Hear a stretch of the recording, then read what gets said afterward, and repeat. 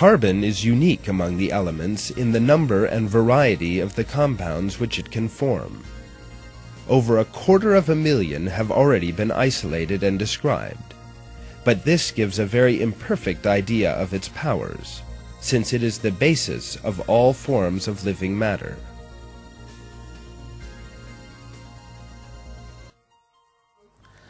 Science today is still unable to fully understand the capacity of the carbon atom. In laboratories, new compounds are produced every day. Currently, it is possible to talk about almost 2 million compounds. As it is known, the carbon atom is capable of forming approximately 1.7 million compounds. While the other elements can form a total of 300,000 compounds, carbon, in an extraordinary manner, is able to form 1.7 million just on its own. In conclusion, the carbon atoms form 85% of all known compounds. The question of how the carbon atom first came into existence leads us to another miracle. The carbon atom forms through a series of nuclear reactions in the center of giant stars. However, these reactions have such delicate physical balances that despite being a materialist himself, even the renowned British astronomer Fred Hoyle, who discovered this, was unable to refrain from saying that a super intellect had intervened in physics. God has created the universe with a flawless harmony. In referring to a super intellect, Hoyle admits the manifest existence of God.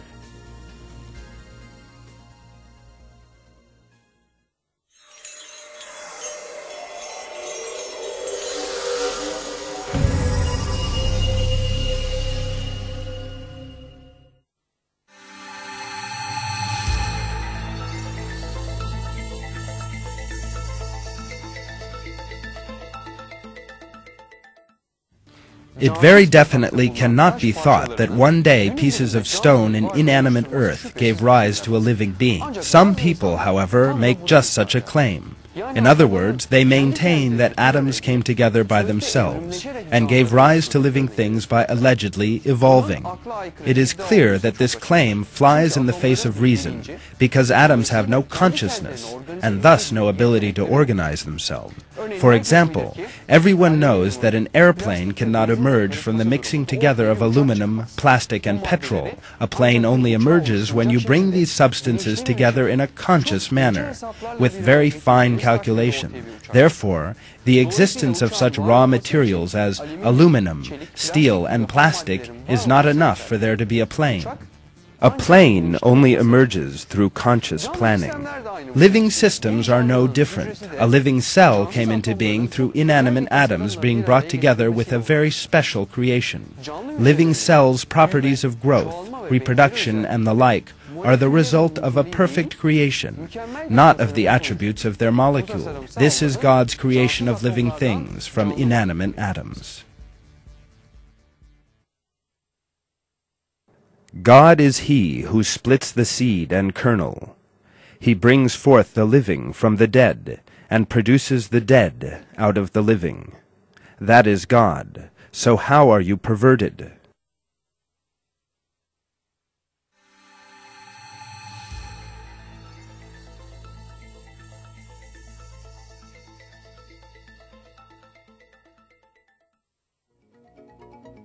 There is a great power stored within the nucleus of the atom. So great is that power that with the discovery of this energy humanity is able to make giant canals connecting oceans together, build mountain passes, and produce artificial climates.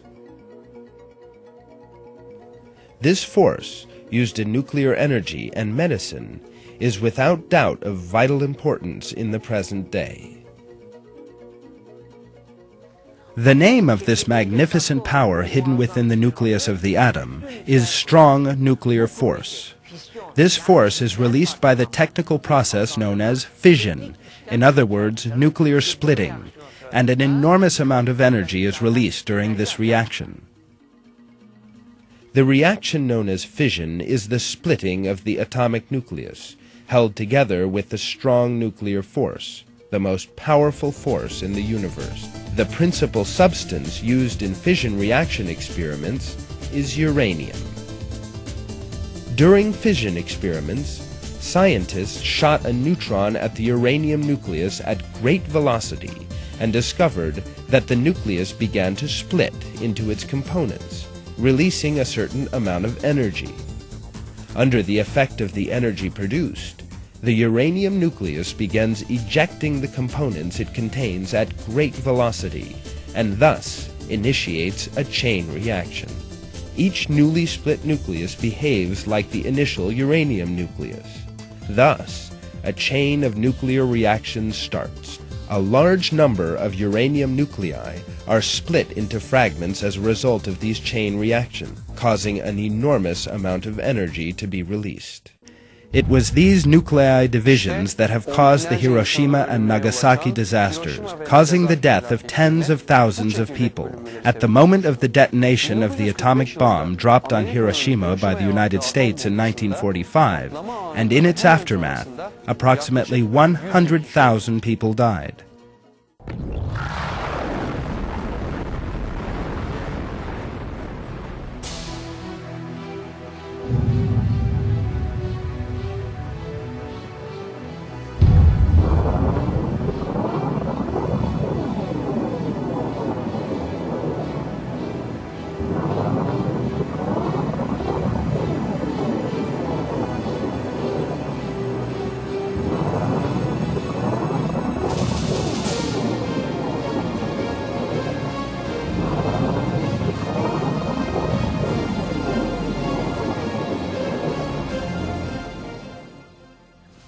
Another atom bomb dropped on Nagasaki by America caused the death of another 40,000 people right at the moment of detonation.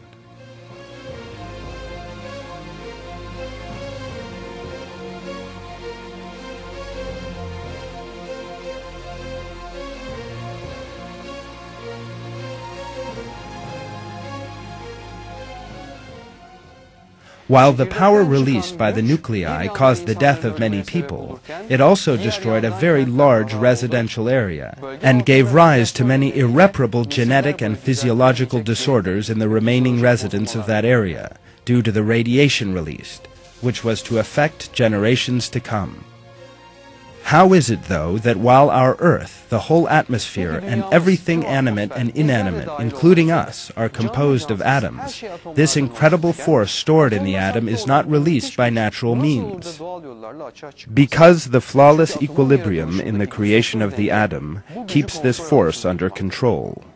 The chain reaction that causes a nuclear explosion can only be produced by artificial means.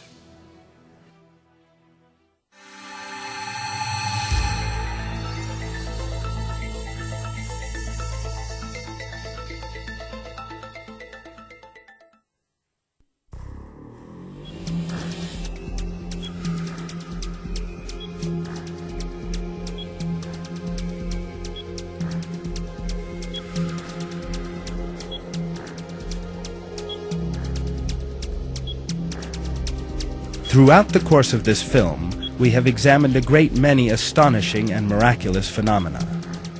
We have seen that a body consisting of atoms breathes the atoms in the air, eats the atoms in food, and drinks the atoms in water. What we have seen is nothing else than the collision of photons and the electrons in the atoms in your eye. What about what we perceive through touch?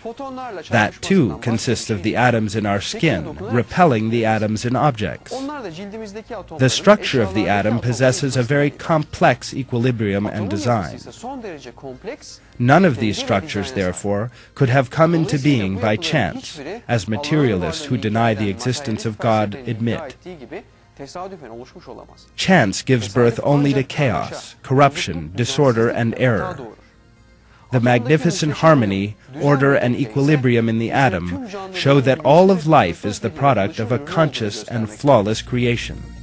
All these scientific facts we have seen so far demolish atheistic philosophy in an incontrovertible manner and prove that the origin of everything, animate or inanimate, is not blind chance, but creation. The creator of all that exists is Almighty God, Lord of the worlds. In one verse of the Quran, it is revealed. In the creation of the heavens and earth, and the alternation of the night and day, and the ships which sail the seas to people's benefit, and the water which God sends down from the sky, by which he brings the earth to life when it was dead, and scatters about in it creatures of every kind, and the varying direction of the winds, and the clouds subservient between heaven and earth, there are signs for people who use their intellect.